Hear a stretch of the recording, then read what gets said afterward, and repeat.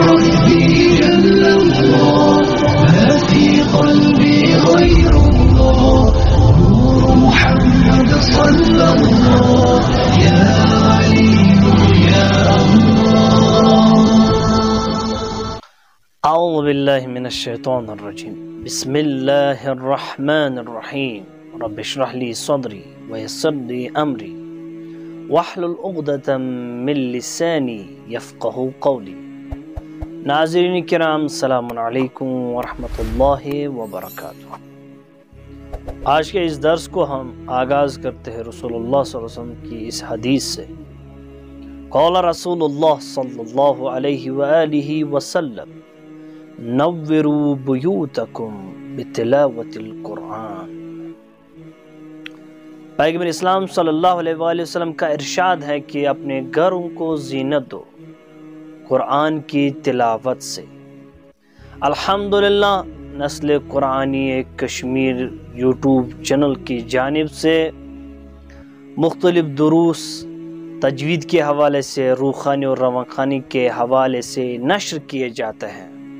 اور پچھلے جو دروس ہم نے نشر کیے، ان میں سے جو ہیں فتح زمہ کسرہ کے جو تین درس ہے وہ ہم نے آپ کے سامنے جو ہیں، آپ کے لیے نشر کے۔ تو الحمدللہ، امید ہے کہ وہ جو دروس ہیں آپ کے لیے مفید، ثابت مند ہوئے ہوں گے۔ اگر آپ میں سے کوئی نیا ہے اس یوٹیوب چینل پہ، اور جو وہ پچھلے والے دروس ہیں، نہیں سنے ہیں، آپ جائیں ہمارے ڈسکرپشن میں جو ہیں، لنک دی گئی ہے وہاں پہ آپ جا کر وہاں پہ وہ موجود ہیں، ان درسوں کی لنک موجود ہیں، وہاں پہ جا کر آپ استفادہ کر سکتے ہیں۔ تو الحمدللہ، آج جو ہمارا درس ہوگا، کیونکہ ہمارا نسل قرآنی کشمیر کی کا ہدف و مقصد یہی ہے کہ قرآن کو عام کرنا اور قرآن کی تعلیمات کو عام کرنا۔ الحمدللہ، ہماری کوشش یہی رہتی ہے کہ آپ بھی ان دروسوں کو سنیں آپ بھی ان دروسوں کو غور سے سنیں اور اس پر جو ہے عملی طور کام کریں تاکہ آپ کا لہجہ و لحن عربی بنے گا۔ تو الحمدللہ جو پہلی بنیاد ہے لہجہ عربی بنانے کے لیے لحن عربی بنانے کے لیے، وہ حرکات ہیں۔ وہ ہم نے آپ کے سامنے جو ہیں، آپ کے خدمت میں پیش کیے، وہ دروس حرکات کے حوالے سے، آواز کے حوالے سے۔ تو الحمدللہ آج ہم اس درس کو آگے بڑھاتے ہوئے جو آج جو ہمارا درس ہے وہ ہے بڑی حرکات۔ چونکہ چھوٹی حرکات کے دروس جو ہیں وہ مکمل ہو چکے ہیں اور آج جو ہمارا درس ہے وہ ہے بڑی حرکات۔ بسم اللہ الرحمن الرحیم۔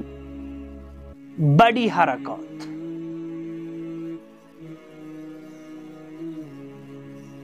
جس طرح میں نے اس سے پہلے بھی کہا ہے کہ حرکات، حرکت اصل میں آواز ایک ہے۔ تو حرکات آوازیں یا آواز ہم کہہ سکتے ہیں۔ بڑی حرکات کیا ہے؟ بڑی حرکات تین ہیں۔ نمبر ایک دو اور تین۔ تو پہلی جو حرکت ہے وہ ہے الف مادی۔ اور دوسری حرکت جو ہے بڑی حرکت وہ ہے واو مادی اور تیسری جو حرکت ہے وہ ہے یا مادی اب الف مادی یہاں پہ آپ کا سوال ہوگا کہ الف جو ہے اس کی دو قسمیں ہیں۔ ایک تو ہے الف مادی اور پھر غیر مادی تو یہاں پہ ہم نے یاد رکھنا ہے کہ الف مادی کس کو کہتے ہیں؟ تو میں ڈیفینیشن یہاں پہ لکھ لیتا ہوں۔ جب الف سے پہلے زبر آ جائے۔ یعنی الف سے پہلے زبر آ جائے یعنی الف خود ساکن ہو۔ تو اس سے پہلے زبر آ جائے، تب ہم کہہ سکتے جیسے مثال میں آپ کی خدمت میں عرض کر رہا ہوں، جیسے ہیں قول قول یہاں پہ آپ دیکھ سکتے ہیں۔ یہ جو یہاں پہ یہ الف ہے الف سے پہلے قوف ہے، قوف پہ زبر ہے۔ تو ہم نے پہلے ہی کہا، جب الف سے پہلے زبر آ جائے، تو اس سے پہلے زبر ہے۔ تو اس کو ہم کتنی مقدار، کیا ہوگی اس کی؟ دو حرکت کے برابر ہم نے اس کو کھینچنا ہے۔ تو ہم کیسے پڑھیں گے؟ قول یا اس کے بعد دوسری مثال ہے۔ خوف یا اس کے بعد اور ایک مثال ہے جیسے فاعلین۔ اب اس میں بھی جو قسمیں ہیں کہ کہاں کہاں پہ الف مدی ہلکا پڑھنا ہے، نازک پڑھنا ہے، موٹا پڑھنا ہے، انشاءاللہ وہ ہم آئندہ والے درس میں ہم اس پہ بات کریں گے۔ تو یہ ہے الف مدی۔ تو ہم نے یہاں پہ یاد رکھنا ہے کہ الف مدی دو حرکت کے برابر ہم کھینچ سکتے ہیں۔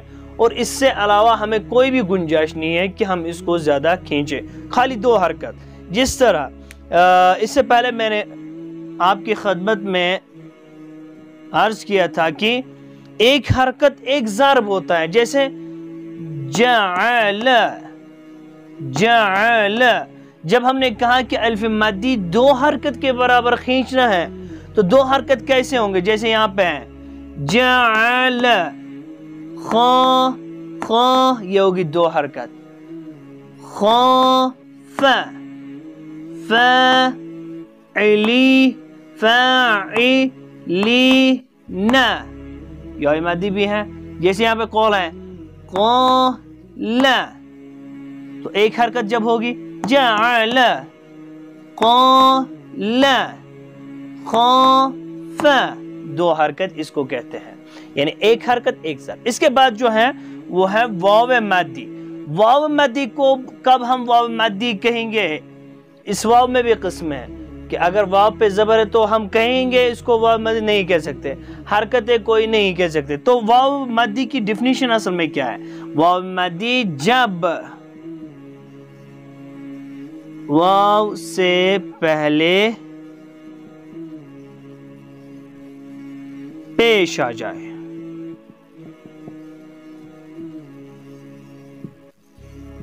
جب واو سے پہلے پیش آ جائے، جیسے یہاں پہ ہم مثال لکھ لیتے ہیں تاکہ آپ کو زیادہ کلیئر ہو جائیں تو مثال جو ہے وہ یہ ہے کہ جیسے مثال ہے، غور سے اس مثال کی طرف اگر ہم غور فکر کریں گے، یہاں پہ ہے حرف واو واو سے پہلے قوف ہے۔ تو قوف پہ کیا ہے؟ قوف پہ پیش ہے۔ ہم نے کیا کہا؟ جب واو سے پہلے پیش آ جائے، جیسے قو، قولو قولو کو کو کو کو یعنی دو حرکت۔ لو، یہ حرف واو بھی مدی ہے، یہ بھی مدی ہے، چونکہ یہ خود ساکنی یہ بھی ہے۔ تو اس سے پہلا والا جو حرف قوف ہے اور لام ہے، وہ متحرک ہے، اس پہ پیش ہے۔ تو اس کو ہم کتنی حرکت کے برابر کھینچیں گے دو حرکت کے برابر۔ جیسے کونو جیسے کونو۔ اس میں بھی ہے یا اور ایک مثال ہے۔ کینو۔ اس میں دو حرف مد آئے ایک تو الف مدی ہے اور واو مدی ہے۔ کیا کیا دو حرکت؟ اور اس کے بعد ہے نو۔ تو ایسے اس, اس طرح ہم اس کو آسان کرنا ہے۔ تو ایسے کیا نو دو حرکت ایک حرکت، ایک زار یہ ہے واو مدی تو اب اگر واو سے پہلے جیسے واو ساکن ہے، کیا ہم اس کو یہاں پہ حرف مد کہہ سکتے ہیں؟ بالکل بھی نہیں۔ کیونکہ اس کی شرط یہ ہے کہ اس سے پہلے جو ہے پیش ہونا چاہے تو یہاں پہ ہمیں کوئی بھی یعنی گنجائش نہیں ہے کھینچنے کی۔ قول ہم پڑھیں گے۔ قول قول۔ تو اس سے زیادہ ہم نہیں پڑھیں گے۔ قو نہیں پڑھیں گے۔ قول۔ تو یہ یہاں پہ واو مادی نہیں ہے، بلکہ یہ واو ہے۔ اس کو ہم سمپل میں کہہ سکتے ہیں کہ یہ حرف واو ہے۔ اس کے بعد جو ہے حرف یا یا یہ مادی۔ جب یا سے پہلے زیر ہو یعنی کسرہ زیر آ جائے۔ یا سے پہلے اگر یا پہ زیر ہو تو ہم حرف مد کہہ سکتے ہیں، بالکل بھی نہیں۔ اگر یا ساکن ہو یا سے پہلے زبر ہو، کہہ سکتے ہیں، بالکل بھی نہیں۔ بلکہ یا ساکن ہو، اس سے پہلا والا جو حرف ہے اس پہ کیا ہونی چاہیے؟ زیر ہونی چاہیے۔ جیسے مثال ہے قیل قی قیل قیل قیل۔ یہ ہے دو حرکات اور ایک حرکات۔ جیسے اور کوئی مثال ہے، جیسے علم تر کیف فعل ربک باصحاب الفیل۔ یہاں پہ، یہاں آپ دیکھ سکتے ہیں، یا ہے، یا سے پہلے فا ہے فا پہ زیر ہے تو اس کو ہم کہیں گے یا مادی تو اسی طرح ہے یا ہے یا سے پہلے قوف ہے قوف پہ زیر ہے تو اس کو ہم کہیں گے یا یہ ہے یا مادی تو اس کے علاوہ اگر یا پہ یا ساکن ہو سے پہلا والا حرف جو ہے اس پر زبر ہو یا پیش ہو، جیسے بیعہ بیعہ۔ تو یہاں پہ آپ دیکھ سکتے ہیں، یا ہے ساکن ہے لیکن جو دوسری شرط ہے، وہ اس میں نہیں ہے کہ اس سے پہلے والے حرف جو ہیں، پہلا والا حرف ہے اس پہ زیر ہونی چاہیے، اس پہ زبر ہے تو یہاں پہ ہم اس کو حرف ماد نہیں کہیں گے۔ تو کل ملا کے جو جو درس تھا ہمارا آج کا، بڑی حرکت کے بارے میں۔ تو دو حرکت کے برابر ہمیں کھینچنا، کوئی بھی گنجائش نہیں ہے۔ کبھی کبھار انسان جو ہے، اس کا قرآن جو ہے، روحانی جس کو ناظرہ بھی کہتے ہیں، اس کا وہ کمزور ہوتا ہے۔ تو وہ جو ہے اپنی غلطیوں کو چھپانے کے لیے پھر وہ اس کو کھینچتا ہے۔ جیسے ان الذین آمنوا باللہ، تو یہ بالکل بھی صحیح نہیں ہے۔ بہتر یہ ہے کہ انسان اگر ایسے پڑھے ان الذین آمنوا وعملوا الصالحات، تو جہاں جہاں پہ حرکت ہے جو ہے بڑی حرکات ہیں ان کا ہم نے خیال رکھنا ہے کہ اس کے علاوہ ہم کسی بھی حرف کو ہم کھینچ نہیں سکتے ہیں۔ تو انشاءاللہ اس کے بعد ہم ہمارا جو آئندہ والا درس ہوگا وہ ہوگا الف مادی کو ہم کب موٹا پڑھیں گے اور کب ہلکا پڑھیں گے اور الف الف اور حمزہ میں کیا فرق ہے؟ انشاءاللہ وہ ہم آئندہ والے دروس میں آپ کی خدمت میں پیش کریں گے۔ انشاءاللہ امید ہے کہ یہ درس آپ کے لیے مفید ثابت ہوا ہوگا اور کوشش کریں کہ یہ درس جو ہیں اس کی لنک جو ہے اپنے دوستوں کے ساتھ بھی شیئر کریں تاکہ وہ بھی استفادہ ان سے کرے اور آپ کے لیے بھی جو ہیں صدقہ جاریہ ثابت ہو۔ والسلام علیکم ورحمۃ اللہ وبرکاتہ۔